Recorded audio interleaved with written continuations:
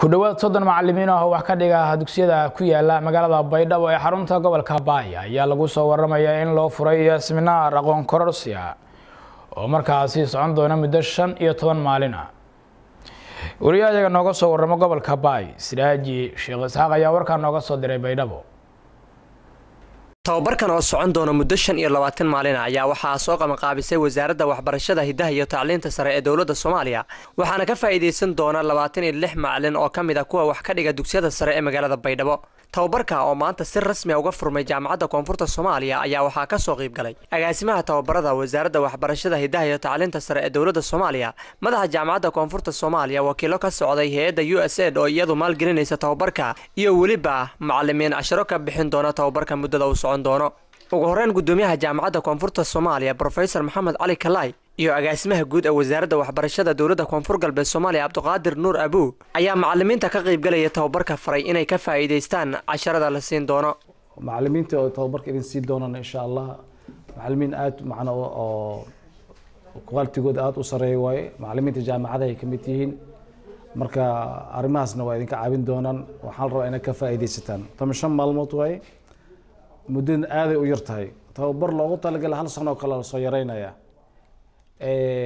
tababarkana maalintan imaanaya beri ma imaanaya maaha shan iyo tobanka maalmood inaad ka faa'iidaysataan al rabaa waan laidinkula xisaabtamaa.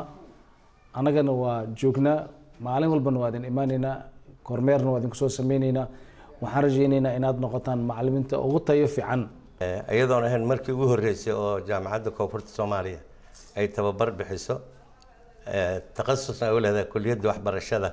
Aada ogtihiin macalimiin badan oo kuwa inta fadhiya kuwa maqanba qaarkood ay ka qalin jabiyeen kuliyaddaas tababarna uusan ahayn kii ugu horreeyey uu yahay tababarkii afraad oo koorsooyinka gaaban ah ee wasaaradda gacan naga siiso inaan tababar u siino macalimiinta aan rajaynayno wixii halkan aad ka faa'iidaan in aad uga faa'iideyn doontaan ardayda soomaaliyeed oo aad waxbaraysaan gabagabadii waxaa si toosa u furay tababarka oo muddo shan iyo toban maalina ka socon doona magaalada baydhabo ee xarunta gobolka baay. Agaasimaha tababarada wasaaradda waxbarashada hiddaha iyo tacliinta sare ee dowladda soomaaliya cabdulaahi cusmaan cumar. Isu imaatinkeena halkan aan isu nimid waxaa waaye inaynu furno tababar. Tababarkaas oo loo qaban doono macalimiin tiradooda ay tahay lix iyo labaatan. Lagana soo lagana soo kala xulay dugsiyada sare gobolka baay gaar ahaan baydhabo macalimiintaas oo isugu jira laba qaybood.